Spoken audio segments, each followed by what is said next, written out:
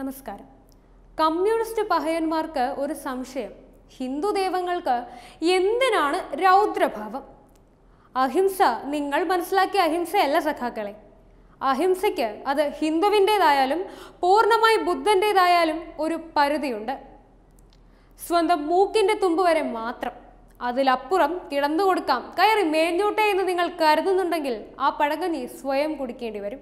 ജിഹാദികൾക്ക് കുടലൂതി സന്തോഷിപ്പിക്കുവാനും മുന്നിൽ വിരിച്ച മുണ്ടിൽ വീഴുന്ന തുട്ടുകളിൽ ജീവിതം മുന്നോട്ട് കൊണ്ടുപോകുവാനും ശീലിച്ച ഓരോ കമ്മ്യൂണിസ്റ്റുകൾക്കും കോൺഗ്രസുകൾക്കും താങ്കൾ ചോദിച്ച ഇതേ ചോദ്യം തന്നെയാകും ചോദിക്കാനുണ്ടാവുക.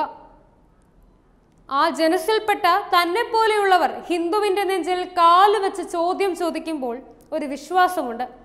നിന്റെ ആ കാലും കൈയും തലയും അവിടെ തന്നെ കാണുമെന്ന വിശ്വാസം. അതുതന്നെയാണ് നിന്റെ ചോദ്യത്തിനുള്ള ഉത്തരം. പക്ഷേ നീ ഈ ചോദിക്കുന്നതിൽ ഒരു ചോദ്യം പോലും നിങ്ങൾ നോട്ടും വോട്ടും വാങ്ങുന്ന ആ പ്രത്യേക സമൂഹത്തോട് ചോദിക്കില്ല. വാങ്ങാൻ കയ്യോ തലയോ അറിയാൻ ജീവനോ കാണില്ല എന്ന വിശ്വാസം വിശ്വാസത്തെക്കാൾ ഭയം. ആ ഭയം ജനിപ്പിച്ച അടിമത്തം നിങ്ങൾക്ക് നന്നായിട്ടുണ്ട്. നിങ്ങൾക്ക് മാത്രമല്ല ഇന്ന് കമ്മ്യൂണിസ്റ്റിന്റെയും കോൺഗ്രസിന്റെയും യൂണിഫോം ഇടുന്ന സകലമാന ആളുകളും നിങ്ങളുടെ ഇതേ തട്ടിൽ തന്നെയാണ് ഉള്ളത്. പക്ഷേ സഖാക്കളെ നിങ്ങൾ ഹിന്ദു ദൈവങ്ങളെ ഒന്നുകൂടി അറിയണം. അവരെ ആരാധിക്കുന്ന ഹിന്ദുവിനെ അതിനേക്കാൾ കൂടുതൽ അറിയണം. കാളി പരാശക്തി തുടങ്ങിയ സ്ത്രീഭാവത്തിലുള്ള ദേവതകളടക്കം ഒരു കയ്യിൽ ആയുധം ധരിച്ചവർ തന്നെയാണ്.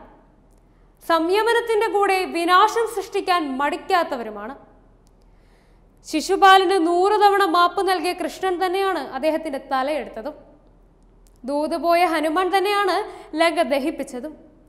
യുദ്ധത്തിനു പകരം ശാന്തി തേടിയ രാമൻ തന്നെയാണ് രാവണന്റെ ലങ്ക നാമാവശേഷമാക്കി സീതയെ തിരികെ കൊണ്ടുവന്നതും.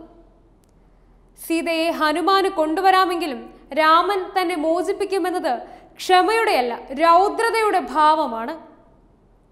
ദുശാസനന്റെ രക്തം പുരട്ടി മാത്രമേ മുടികെട്ടൂ എന്ന ശബദവും നിങ്ങൾ ഭയക്കുന്ന ഹിന്ദുവിന്റെ ആ മറുപുറം തന്നെയാണ്.